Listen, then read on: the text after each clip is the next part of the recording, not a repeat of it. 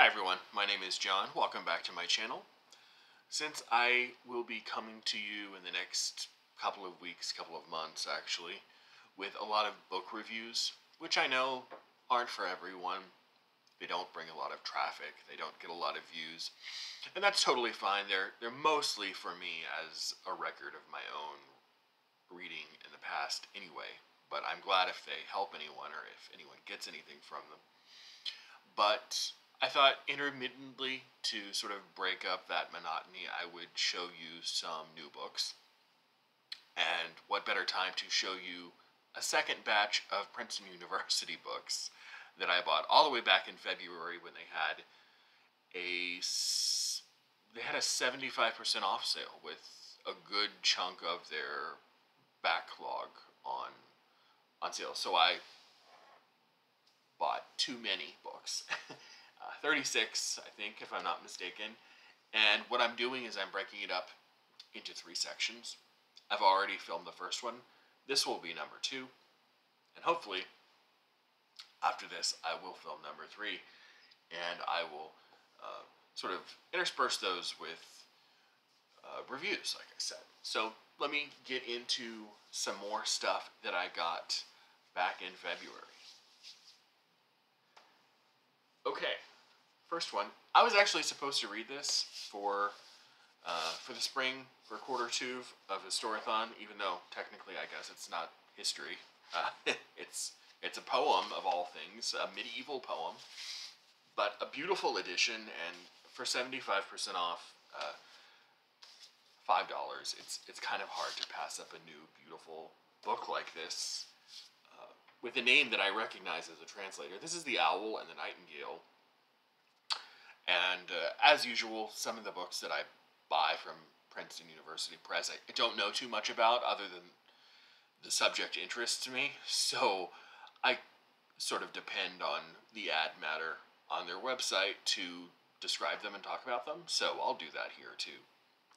The Owl and the Nightingale, one of the earliest literary works of the Middle Ages, is a lively and anonymous comic poem about two birds who embark on a war of words in a wood. Say that five times fast. With a nearby, with a nearby poet reporting their argument in rhyming couplets, line by line and blow by blow.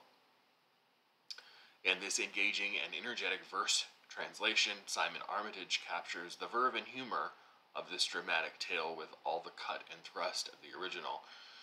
Uh, it turns out that Vin did end up reading this, and uh, he says that it just kind of presents you with a very, very short introduction, and then it is very short four or five pages, and then the poem. So you don't get, unfortunately, a lot of literary or social or historical context for what's going on here. Uh, so you might have to do some internet research to be able to fully appreciate it, but it looks fascinating nonetheless. Next up, I found three books which are kind of of a of a feather, uh, and they're all by a fascinating guy uh, theologian, philosopher of the 20th century. I'll go by them one by one, uh, but they all have the sort of similar presentations. These are all by Martin Buber, the the great 20th century Jewish philosopher and theologian. Uh, the first one is Eclipse of God: Studies in the Relation Between Religion and Philosophy, with an introduction by Leora Betnin- Betninsky. Um, I love these. they're, they're so like, well done. I love the typeset. Uh, everything. Biblical in origin, the expression eclipse of God refers to the Jewish concept of okay, some Hebrew that I'm not that I'm sure I'm going to not do well. Hester Panim H E S T E R P A N I M. And that is apparently the, the Hebrew term for the act of God concealing his face as a way of punishing his disobedient subjects. So, related to the theory of divine hiddenness. Uh, though this idea is deeply troubling for many people, in this book, Martin Buber uses the expression hopefully, for a hiding God is also a God who can be found. First published in 1952, Eclipse of God is a collection of nine essays concerning the relationship between religion and philosophy. The book features Buber's critique of the thematically interconnected yet diverse perspectives of Soren Kierkegaard, uh, Hermann Cohen, uh, Carl Jung, Martin Heidegger, and other prominent thinkers. Buber deconstructs their philosophical conceptions of God and explains why religion needs philosophy to interpret what is authentic and spiritual encounters. He elucidates the religious implications of the I thou relationship. Buber, if you, if you know his name, you probably know him for a book called I and Thou, which talks about uh, a person's subjective relationship with another person, another subject. It's basically a, a, a book long essay about a dialogical relationship and explains how the exclusive focus on scientific knowledge in the modern world blocks the possibility of a personal relationship with God. Uh, as a thoroughly secular person, uh, Martin Buber has always, uh, nevertheless, interested me. So, Eclipse of God by Martin Buber. Essays. two more books by Martin Buber. This is uh, Hasidism and or Hasidism and Modern Man by Martin Buber. Does this have a subtitle? No. Uh, Hasidism, a controversial mystical religious movement of Eastern European origin, has posed a serious challenge to mainstream Judaism from its earliest beginnings to the middle of the 18th century. Decimated by the Holocaust, it has risen like a phoenix from the ashes and has constituted itself as a major force in the world of ultra Orthodox Judaism. Philosopher Martin Buber found inspiration in its original tenets and devoted much of his career to making its insights known to a wider readership. Uh, first published in 1958, Hasidism and Modern Man examines the life and religious experiences of Hasidic Jews as well as Buber's personal response to them. From the autobiographical, I guess this is another collection of essays, from the autobiographical My Way to Hasidism to Hasidism and Modern Man, and Love of God and Love of Neighbor, the essays span nearly half a century and reflect the evolution of Buber's religious philosophy in relation to the Hasidic movement. Hasidism and modern man remains prescient in its portrayal of a spiritual movement that brings God down to earth and speaks and makes possible a relationship in which the human being becomes sacred.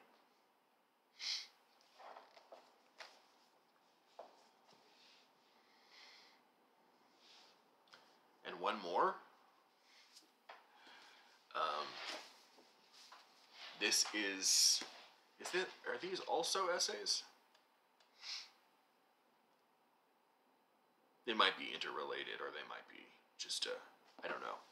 I'll have to dive into it when I see. Uh, this was published in 1949. Uh, this is The Prophetic Faith by Martin Buber.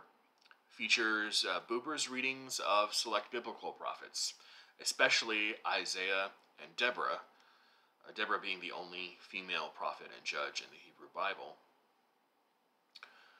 in, uh, in an approach that combines insights from biblical prophecy with a concern for events in the here and now, Buber outlines his interpretation of biblical revelation, uh, infused with an anti institutional and some would even say anarchic sensibility.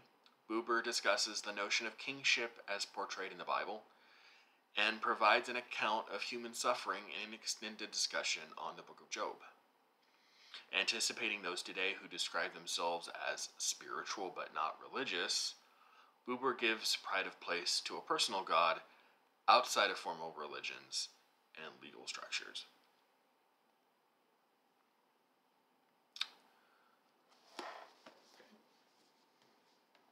So, moving on from Martin Buber to some ancient history. This is uh, Jared Diamond means ancient Rome, I guess. Uh,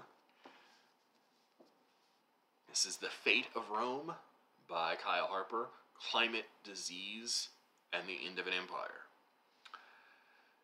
Here is the monumental retelling of Love is Ad Matter sometimes. A monumental retelling of one of the most consequential chapters of human history, the fall of the Roman Empire. The Fate of Rome is the first book to examine the catastrophic role that climate change and infectious diseases played in the collapse of Rome's power. A story of nature's triumph over human ambition. Interweaving a grand historical narrative with cutting edge climate science and genetic discoveries, Kyle Harper traces how the fate of Rome was decided not just by emperors, soldiers, and barbarians, but also by volcanic eruptions, solar cycles, climate instability, and devastating viruses and bacteria. The Fate of Rome is a sweeping account of how one how one of history's greatest civilizations encountered and endured yet ultimately succumbed to the cumulative burden of nature's violence.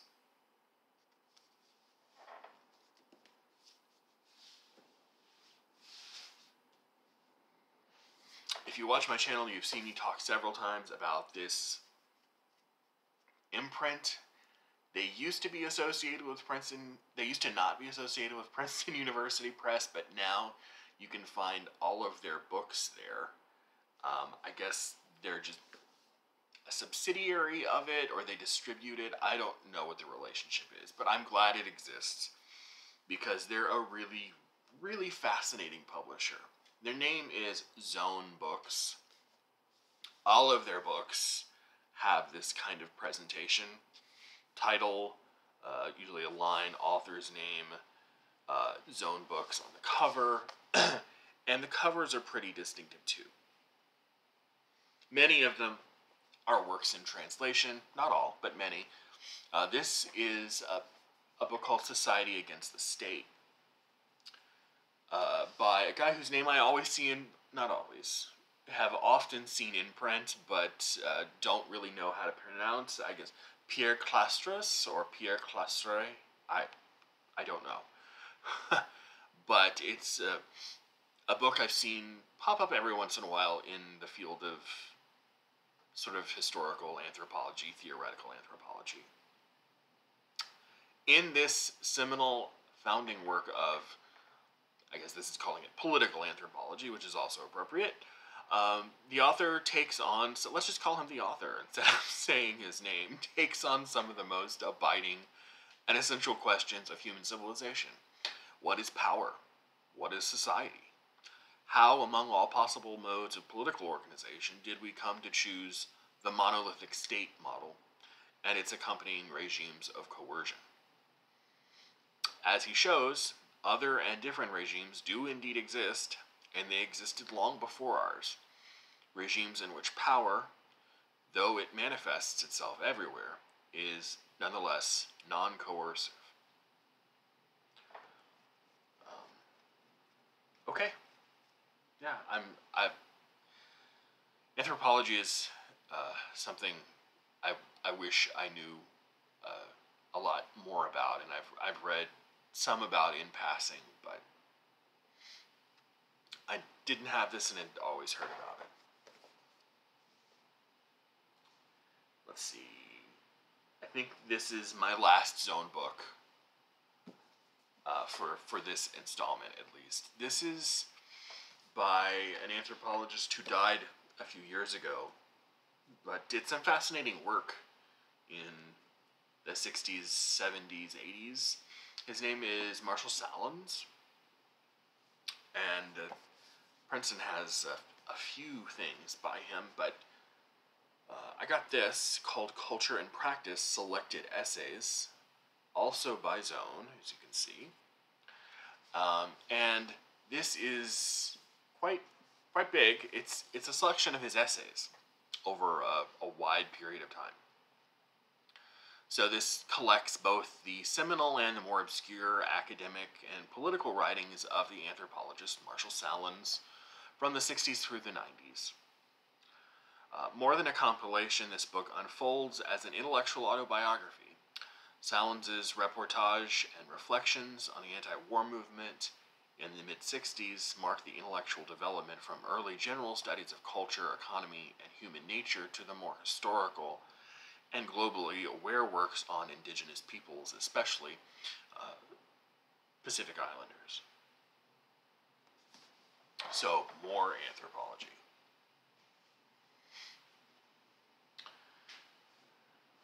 Moving to uh, 18th century London.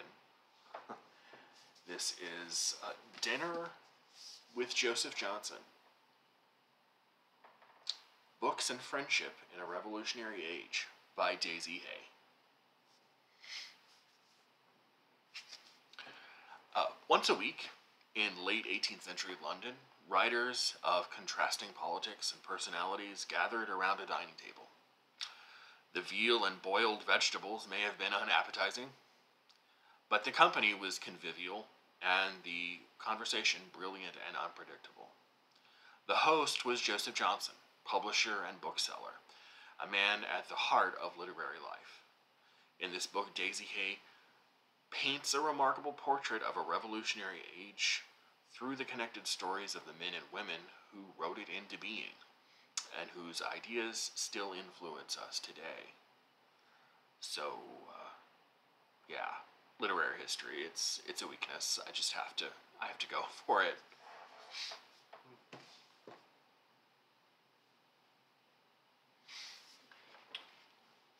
And uh, sometimes when you go through the dregs of a Princeton University book sale, you know, they'll put a thousand, two thousand, four thousand books on sale, and of course that means I have to spend my entire afternoon and evening uh, looking at every single title and seeing what I'm interested in.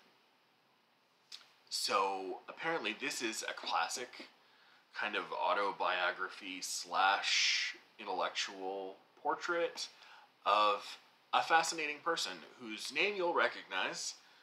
Um, his name is Clausewitz, von Clausewitz. Clausewitz in the State.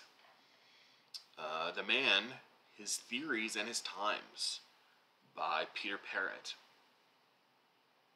This originally came out nearly half a century ago in 1976. Clausewitz in the State presents a comprehensive analysis, excuse me, of one of the significant thinkers of modern Europe. Peter Paret combines social and military history and psychological interpretation with a study of Clausewitz's military theories and his unduly neglected historical and political writing. So, if you, if you know Clausewitz, he wrote a book called On War, which it's been translated several times. You can find versions of it uh, in several, you know, like Wordsworth classics and probably Penguin classics. Um, but uh, this was interesting. I, I don't think I've ever read a standalone study of, of Clausewitz or his ideas. So I jumped at that. Three more.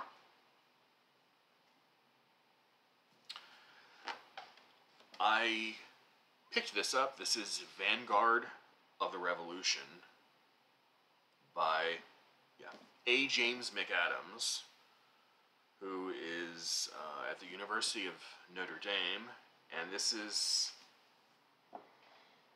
uh, his Vanguard of the Revolution, the global idea of the Communist Party.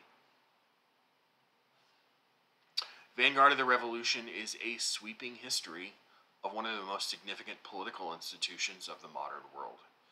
The Communist Party was a revolutionary idea long before its supporters came to power. A. James McAdams argues that the rise and fall of communism can be understood only by taking into account the origins and evolution of this compelling idea. He shows how the leaders of parties and countries as diverse as the Soviet Union, China, Germany, Yugoslavia, Cuba, and North Korea adapted the original ideas of revolutionaries like Karl Marx and Vladimir Lenin to profoundly different social and cultural settings. Vanguard of the Revolution is essential reading for anyone seeking to understand world communism and the captivating idea that gave it life. So, uh, stuff about Marxism, socialism, communism with a historical bent, kind of like in the vein of To the Finland Station by Edmund Wilson. Very interesting.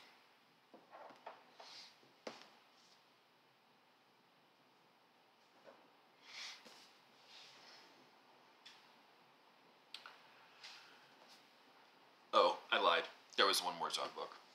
Yeah. Last one, I promise this time.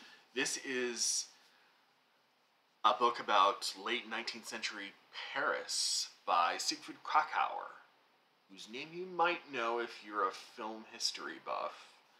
Uh, he's a, a film theorist, a, a media theorist, early part of the 20th century. And he wrote that book called oh, I'm going to be so embarrassed if I misquote it. It's something like Hitler and Caligari. Oh. Oh, goodness. I should have looked this up before I turned the camera on, but I didn't. And he wrote a book called Jacques Offenbach and the Paris of His Time by Siegfried Kracauer. Jacques Offenbach, if you, you're not familiar with his name, he was a composer. He wrote um, mostly sort of light operetta type music at you know d- during the late 19th century his, his most famous pieces being an operetta called uh, the tales of hoffmann based off of the uh, the some of the works of eta hoffmann siegfried kracauer's jacques offenbach and the paris of his time brilliant, brilliantly reconfigures the biography form the biography form, into a remarkable work of social and cultural history.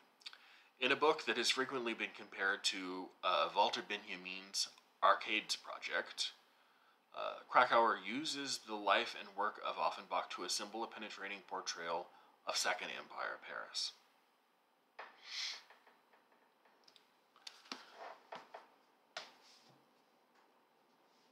So now, jump forward 120 or 140 years, and um, halfway across the world. this is The Party and the People Chinese Politics in the 21st Century by Bruce J. Dickson. Since 1949, the Chinese Communist Party, the CCP, has maintained unrivaled control over the country, persisting even in the face of economic calamity widespread social upheaval, and the violence against its own people. Yet the party does not sustain dominance through repressive tactics alone. It pairs this with surprising responsiveness to the public. The Party and the People explores how this paradox helped the CCP endure for decades, and how this balance has shifted increasingly toward repression under the rule of President Xi Jinping. So, that wraps up my second group of books, second installment of books. Uh, I uh, hope you saw something you liked. If you've seen anything you liked or have read or are interested in or want to hear me talk about, let me know in the comments. I love hearing from everyone. And I will see you next time. Bye.